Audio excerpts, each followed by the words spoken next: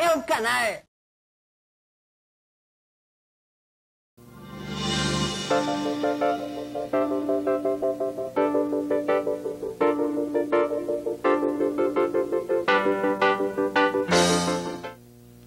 Bom dia. Estamos começando o primeiro programa Taubaté Repórter, um novo espaço aqui na Band, aberto para os acontecimentos e atividades dessa cidade. Todos os domingos estaremos com você levando o que há de mais importante, desde um personagem simples das ruas da cidade até o crescimento do setor industrial do município. Taubaté é um dos municípios de destaque da região. Daqui partiram as bandeiras para desbravar o sertão e fundar muitas cidades do Brasil. Com mais de três séculos de fundação e uma população de 220 mil habitantes, a cidade desponta como um dos mais importantes centros culturais e universitários do país. Seu comércio é um dos mais ativos do Vale do Paraíba e o setor industrial teve um crescimento significativo nos últimos anos, com a instalação de diversas empresas de peso na economia nacional.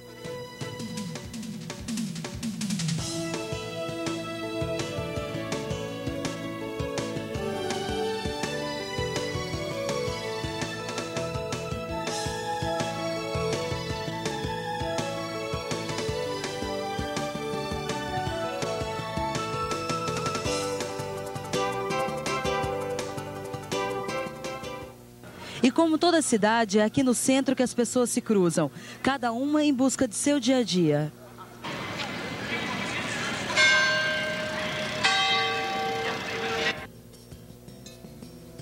Alguns simplesmente passeiam.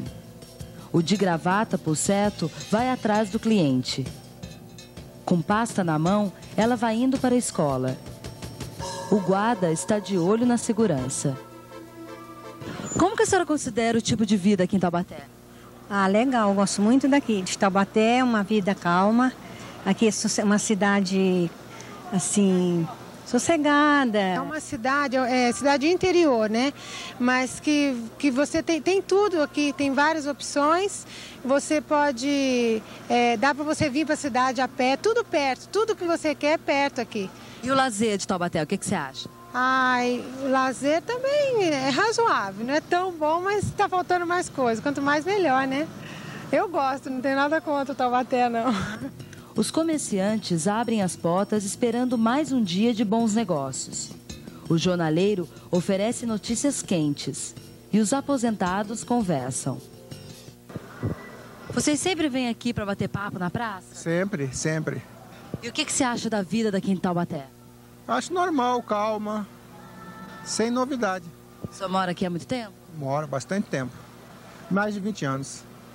E o senhor, o que, que o senhor acha da vida de Taubaté? Eu gosto demais de Taubaté. Eu não sou daqui, sou de Guará, mas eu adoro aqui. Para mim aqui é a outra casa minha. Para os lados do mercado, produtores e comerciantes estão a postos. E as senhoras correm para comprar o almoço. A senhora costuma comprar sempre aqui no Mercadão? Compro constantemente. E por que aqui no mercado? Porque eu acho o mercado de Taubaté muito variado e as coisas geralmente são fresquinhas. Não vou atrás de preço, vou atrás de qualidade. Qual a importância do mercado para a cidade de Taubaté? O mercado municipal para a cidade de Taubaté tem uma importância muito grande porque é um grande centro de, de, de distribuidor de mercadoria, de alimentos e mesmo com os grandes supermercados que tem na cidade, inclusive nos bairros, o mercado municipal ainda lidera o movimento de, de, de consumidores da cidade. Então nós temos aqui, como eu, por exemplo, comerciantes que já vêm de, de, de avô, de pai para filho e nós temos, no caso, eu, por exemplo, com 32 anos já trabalhando aqui no mercado municipal, direto e indiretamente, eu iniciei aqui em 51, 52, né, enquanto garoto. E comigo tem muitos ainda, então é, o mercado municipal é uma tradição, é onde você acha de tudo para se comprar dentro da área da alimentação, desde paçoca assim, feito em casa, é um negócio muito bacana e uh, qualidade de mercadoria excelente, aonde você tem uma diferença grande do supermercado, porque no supermercado você não vê o dono, né? Você vê o gerente. E aqui é um grande supermercado onde você trabalha e compra e conversa com os proprietários, né? São inúmeros proprietários. Nós temos aqui mais de mil proprietários. Vocês vieram aqui no mercado só para comprar alguma coisa ou para bater um papo? Eu vim no mercado para jogar o popular palitinho. Quem perde, paga o pastel. E eu gosto de ir no mercado porque tem grandes amigos por aqui e aqui sempre sai um negocinho. E o senhor tem esse costume de diariamente vir para cá? Diariamente eu venho aqui. Se eu não vier aqui, eu não passo o dia bem. E isso é hábito. Todo mundo deve ter esse hábito de vir no mercado. E o senhor está aqui também só batendo um papo? Eu ajudo ele.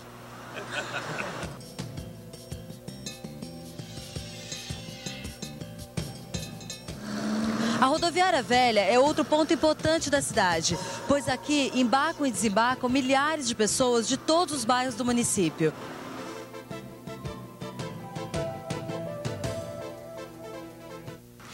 Atender melhor a população, a cidade conta também com o bem montado Taubaté Shopping Center.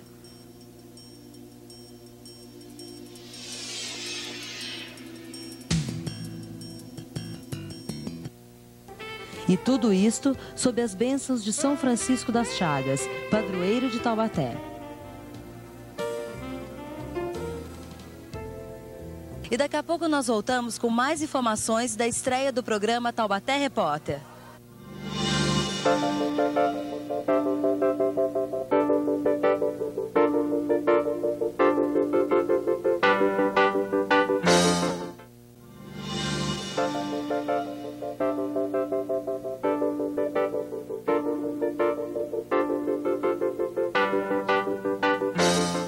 Você está assistindo hoje a estreia do Taubaté Repórter. Este programa será exibido todos os domingos às 8h30 aqui na Band. O espaço será ocupado com reportagens de tudo o que acontece na nossa Taubaté. E essa iniciativa já tem o aval das autoridades locais. Como que o senhor vê a importância desse novo programa da TV Bandeirantes para a comunidade taubatiana? Olha, um programa que enfoca somente Taubaté é uma lacuna que a TV Bandeirantes está preenchendo aqui na nossa cidade. Nós achamos isso muito bom e a gente deseja a todos da produção do programa muito sucesso. Taubaté é, é, um centro de notícias. A gente tem muita coisa acontecendo aqui na nossa cidade. Independente de prefeitura, porque a prefeitura promove muita coisa que a gente pode, é, se vocês quiserem divulgar, a gente vai sempre estar à disposição. Mas a, a, cidade é efervescente, existe coisa acontecendo a todo momento. E a presença da Band com jornalismo sério, com jornalismo independente e, e neutro nas suas colocações será muito bom. A gente conhece o pessoal que está produzindo esse programa, sabe da, da capacidade de trabalho, sabe inclusive desse aspecto de procurar fazer com que a notícia tenha transparência, seja checada. Então eu acho isso vai ser um ganho muito grande para a nossa cidade. Pois bem, eu vejo com bons olhos, uma vez que penso que nós devemos sempre informar melhor uh, os cidadãos. Isso faz parte do mundo moderno e ninguém ama o que não conhece. E também não conhece sem ter uh, lido, ouvido. E a televisão é dos melhores meios de comunicação. Por isso, é bom informar bem os espectadores sobre a realidade que os circunda, portanto, sobre aspecto econômico, aspecto cultural, aspecto religioso e outros ainda mais. Penso que seja uma bela iniciativa e que o senhor abençoe essa iniciativa e também ilumine aqueles que o fazem para que possam informar coerentemente corretamente eu acho de uma importância extraordinária. Vocês estão enfocando justamente o momento certo que Taubaté está vivendo, o momento de grande expansão industrial e comercial. E quero parabenizá-los por essa iniciativa.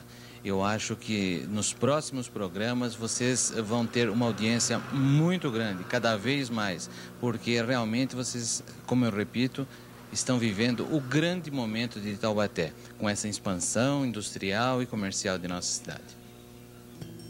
A iniciativa do lançamento deste programa tem também o apoio dos comerciantes locais.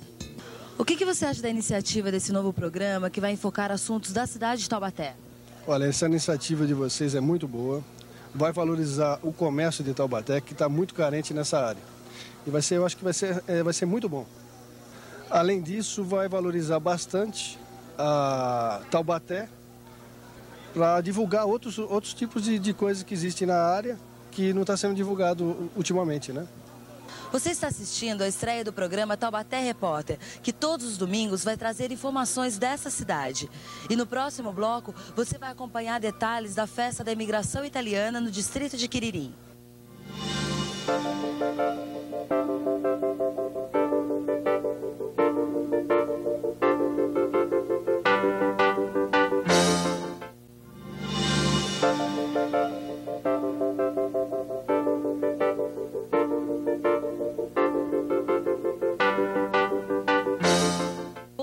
Estreia do programa Taubaté Repórter. Essa semana nós acompanhamos o começo da festa do Quiririm, com a abertura oficial e a inauguração do Museu da Imigração Italiana.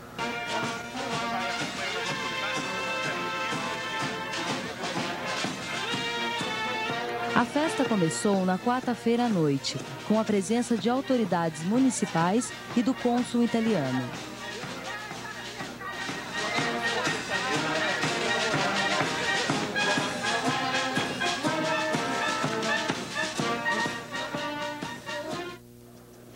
Depois da abertura oficial, as autoridades e convidados vieram até aqui, o Sobradão dos Indiani, onde aconteceu a inauguração do museu. Na ocasião, os visitantes puderam observar fotos de várias famílias de imigrantes e participar do lançamento de um livro contando a história da imigração.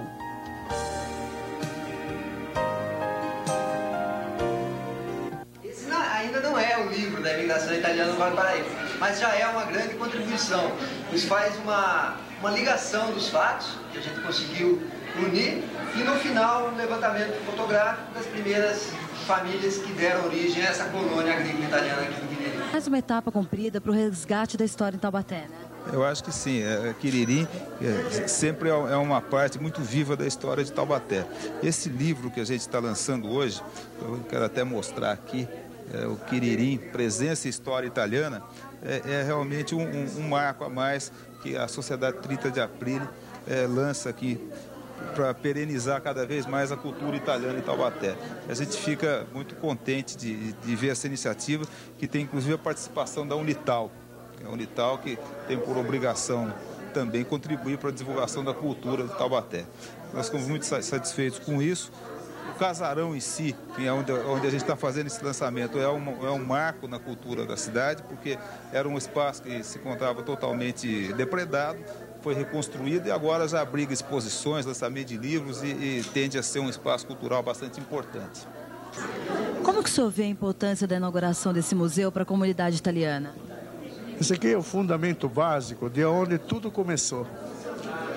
Aqui os italianos vieram, sofreram, viveram, criaram seus filhos, trabalharam e finalmente coroaram o sonho deles através dos resultados. Resultados estes que permitiram à cidade de Quiri- adquirir a importância e uma tradição que se protar de lá até os nossos dias. Para mim, isso é história. A história é preservação.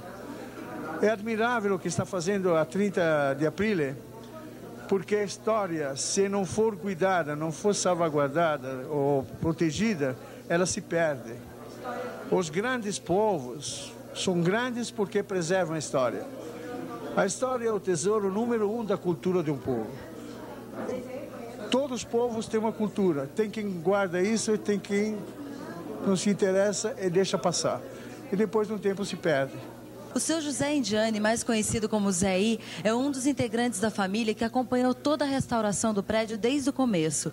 Seu Zé I, como o senhor se sente hoje vendo toda essa obra concluída e aberta ao público? Olha, para mim isso daí não cabe no meu coração.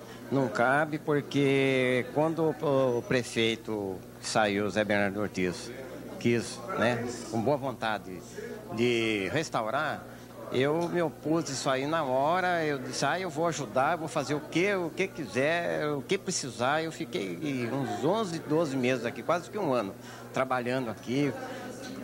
Fiz o- os tijolos para o muro, o piso. Então, eu, hoje eu me sinto realizado, viu? Não é? Eu me sinto realizado. E contente por uma parente minha estar me entrevistando, né? A noite festiva teve ainda a participação do coral Fego Camargo, que interpretou um trecho da ópera Nabucco.